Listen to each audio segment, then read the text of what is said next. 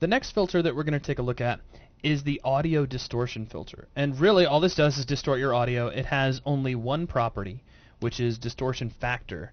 You have to be a little careful with it because it does affect the overall volume of your sound. It will crank it up. And setting your distortion value, I'm just going to say this in advance, setting this all the way up to 1 can really blow out your speakers and startle you if you're not ready for it. So uh, just be aware of that. Now, this filter, it's uh, pro only, as are all of the filters, and can be applied directly to an audio source, or it can be applied to a listener if you want to make sure that all of your incoming sounds get distorted. So, with that out of the way, let's take a look at applying this.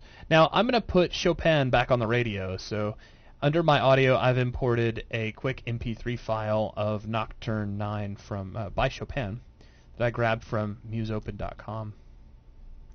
And so now if I was to hit play, and I'm assuming you've already heard this, but if you haven't, we just have some nice piano music.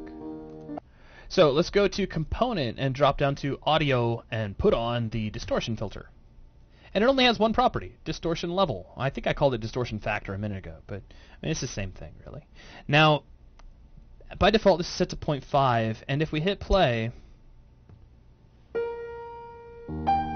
you can already hear that our sound is a little bit messy.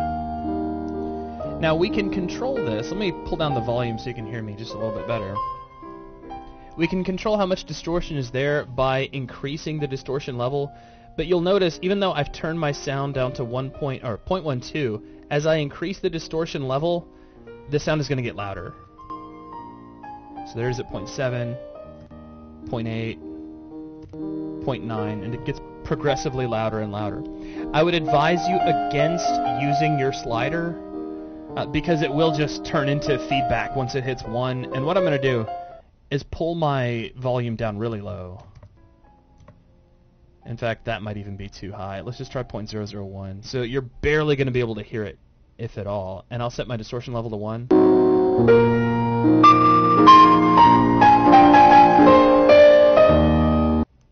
You see how delicate that gets. If you have a volume higher than say 0.001, and really should probably go even lower than that, like 0.0001. But if you go any higher, really it just turns into nasty feedback grossness that is very, very difficult to work with. So watch out for having a distortion level all the way at 1. So what I'm going to do is set this to about 0.95 and then I'll very carefully play with my volume.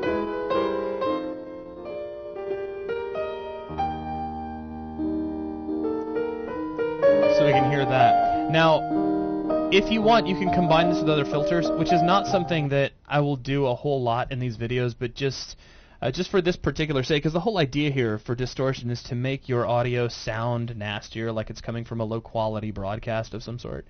Uh, but as far as I'm concerned, I think it goes really well with a high pass filter. So if we go to component, jump down to audio, and drop on a high pass filter, and set this to something like uh, anywhere from 2 to 5,000. Let's just try 2500 and unpause.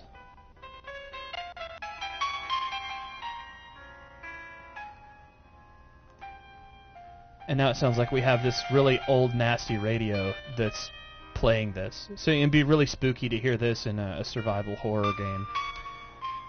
And that's all there is to it. It's just a, a quick filter that applies a certain amount of distortion. Again, it does affect volume, so watch out when applying it to a full volume sound, especially if you're approaching a distortion level of 1, because you will blow your player away and hurt their ears if you're really not careful. But that will wrap things up for this video. Thank you for watching.